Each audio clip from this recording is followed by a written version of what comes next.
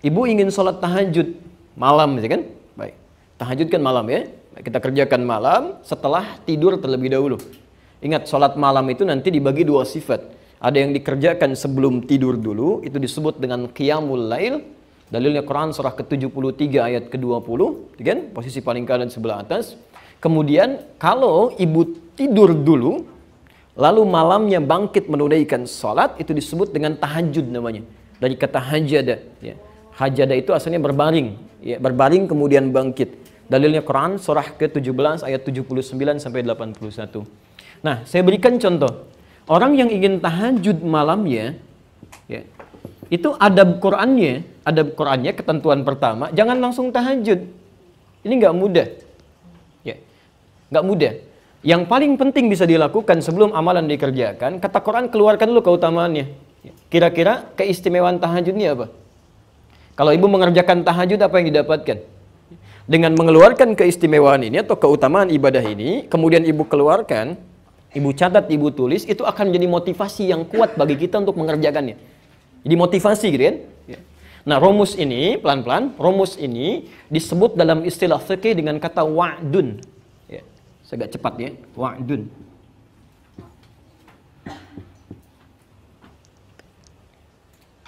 Okay, wa'dun. Wa'dun itu janji positif, ya. janji positif atau keutamaan, keutamaan yang Allah siapkan yang Allah siapkan sudah keutamaan yang Allah siapkan bagi hambanya bagi hambanya yang mengerjakan ibadah tertentu ya. Yang mengerjakan ibadah tertentu contoh ini misal saja ya, ya. di Quran disebutkan diisyaratkan orang yang tahajud itu dijamin langsung oleh Allah, bukan hadis lagi ya, bukan hadis lagi. Dijamin langsung oleh Allah di Quran surah ke-17 ayat 79 sampai dengan 81-nya. Lihat kalimatnya. Allah menjamin akan memberikan empat hal. Saya ulang. Allah jamin akan memberikan empat hal pada orang tahajud, pada orang yang tahajud, yang tidak akan pernah ini diberikan pada yang tidak tahajud sekalipun sholat fardunya khusyuk luar biasa. Ibu sholat misalnya lima waktu sampai menangis terseduh-seduh khusyuknya luar biasa. Anda tidak tahajud, Anda nggak dapat yang empat ini. Ini khusus hanya untuk yang tahajud. Ya. Dan saking pentingnya tahajud ini, yang empat ini, sampai perintah tahajud itu satu-satunya sholat sunnah yang perintahnya dilekatkan langsung dengan sholat fardu. Ya. Sholat fardu ada berapa rakaat? 17 rakaat, Masya Allah. Berapa waktu? 5 kan dalam sehari. 17 rakaat di surah ke-17. Ayat 78-nya. Ayat 78 itu perintah salat fardu. Aqimis salata ke syamsi ila ghasaqil laini wa qur'an al-fajri. Ada? Posisi sebelah kiri ke atas sedikit. Inna qur'an al-fajri kana mashhuda. Itu dari mulai zuhur sampai ke subuhnya. Setelah itu, ternyata salat sunnah pertama disebutkan di Quran, diisyaratkan, itu bukan rawatib, bukan yang rawatib 12 rakaat atau kalau zuhurnya enggak 4 bisa jadi 2 gitu kan? 10 rakaat ya maksimal 12 kemudian bukan salat duha bukan salat syuruk tapi salat tahajud.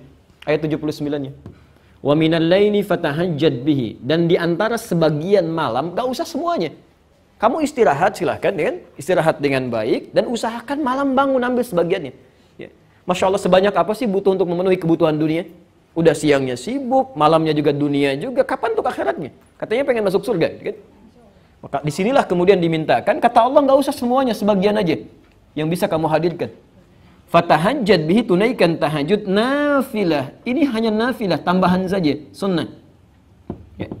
Kalau kamu bisa kerjakan, kami berikan kemuliaan. Kalau tidak, kamu tidak berdosa. Tapi kalau bisa dikerjakan, lihat kalimatnya. Asa ayyab'afaka rabbuka maqaman mahmuda Orang yang mampu menunaikan tahajud, benar tahajudnya, kami jamin kami akan sukseskan karirnya. Ya, mudahkan pekerjaannya. Ya. Ada kemudahan dalam beraktivitas. Bukan cuma mudah tapi diangkat ya. Jadi ada makam, ada makam mahmudah itu beda bu. Kalau makam itu pijakan yang mengangkat derajat. Ya. Misal ada seseorang misalnya mendapatkan kebaikan, promosi jabatan, bisa disebut dengan makam. Tapi belum tentu orang bisa suka dengan itu. Mungkin ada yang iri hati, ada yang tidak sudi dengan itu. Kok bisa dia ya? Kenapa bukan yang lain? Ada. Tapi kalau seseorang terangkat naik dan orang semua paham memang dia yang pantas, dia yang layak, dia yang baik, maka makamnya ditambah dengan kalimat mahmuda, makaman mahmuda. Ya. Nabi datang, ini kan ayat turun untuk membebaskan Nabi dari kepungan orang-orang Quraisy. Ya, kemudian beliau keluar dari Mekah hijrah ke Madinah kan? Perhatikan, ketika datang ke Madinah bukankah sudah ada pemimpin di sana? Ya kan? Ada Abdullah bin Ubay bin Salul, ada kepala suku yang lain. Ketika datang Nabi orang baru, tidak mudah mengangkat beliau sebagai pemimpin. Mungkin ada yang tidak suka, tapi orang kebanyakan mengatakan beliau yang pantas, beliau yang baik, beliau yang baik dan sebagainya. Ya, pelan-pelan. Ya. Kemudian yang kedua, wa qurabbi adkhilni mudkhala sidqin akan dimudahkan urusan pekerjaannya, dibimbing mengawali aktivitasnya, dibimbing Allah. Ya, mengawali aktivitas. Dibimbing Allah Subhanahu wa taala. Masya Allah, tidak ada yang paling nyaman, paling mudah kecuali mendapat bimbingan Allah Subhanahu wa taala. Di rumah tangga dapat bimbingan, mau ke kantor dapat bimbingan. Ketika dibimbing Allah tidak mungkin menemukan teman yang jelek. Tidak mungkin menemukan makanan yang buruk, tidak mungkin menemukan pakaian yang buruk dan sebagainya. Wa akhrijni mukhrajas sidqin, wa akhrijni mukhrajas sidqin. Diberikan solusi terbaik ketika punya masalah. Alhamdulillah. Ibu sedang jalan nih, begitu jalan, kan? Masya Allah tiba-tiba ada petugas berseragam kasih isyarat, Bu, minggir gitu ya. Baik, apa yang sudah tergambar dalam benak Ibu? Baik, tilang dan sebagainya. Ini kadang-kadang orang suka keliru ya. Ya, suka keliru gitu. Kan tidak, Masya Allah, Ibu jangan membayangkan sesuatu yang kurang baik dulu gitu ya. Boleh jadi beliau mau mengecek, menunaikan tugas dan sebagainya. Kadang suka salah persepsi. Datang itu untuk nanya, tiba-tiba ngeluarin SIM, ditanya enggak gitu kan. Atau yang salah kaprah mengeluarkan uang misalnya, kan nggak diminta, kenapa dikeluarin? Ya. Saya pernah mau isi khutbah di daerah Kuningan, Mega Kuningan. Kami duduk di depan, saya sudah gunakan jas, samping kami teman di jamaah, ya beliau sudah agak sedikit sepuh yang bawa mobilnya. Kadar Allah dihentikan oleh polisi. Ya, begitu mau sedikit masuk, diminta minggir. Minggir Pak katanya. Ya, begitu sudah merapat, beliau mau mengeluarkan SIM begini. Ya, si polisinya mengatakan mau ke mana B, kan?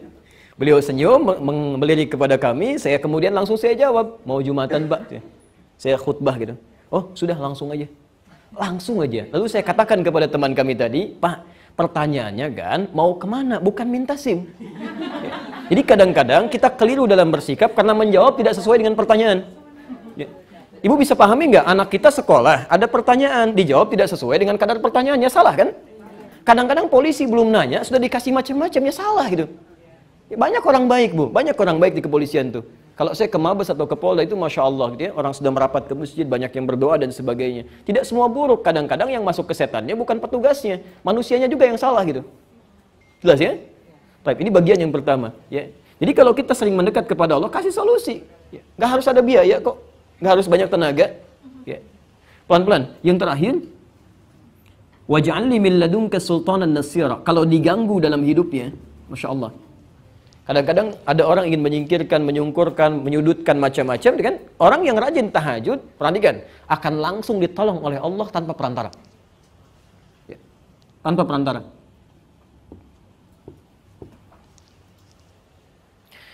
Saya agak sedikit cepat ya, karena bukan ini inti materi kita. Nah, sekarang perhatikan. Rumusnya, kalau ibu ingin menunaikan tahajud, isyarat-isyarat di harusnya, sebelum dikerjakan tahajudnya, ini empat ini keluarkan dulu, Bu. Ibu tulis, tempelkan di samping dinding tempat kita tidur itu.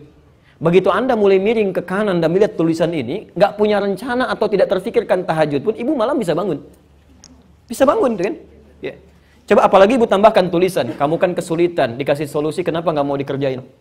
Ya, Nabi, Rasul, orang paling soleh, tahajud sampai bengkak-bengkak. Kamu bukan Nabi, bukan Rasul, surganya belum jelas, macam-macam dan sebagainya, nggak mau tahajud. Terus nuntut lagi pengen cepat selesai masalah. Ya bangun, kan? Tuliskan. Ya. Di sini ibu bisa bangun karena ada motivasi. Ya, mulai persiapan, susun alarm sampai tiga kan. Alarm pertama mematikan alarm kedua. Alarm kedua siap-siap dan seterusnya. Oke. Okay. Wah, kan?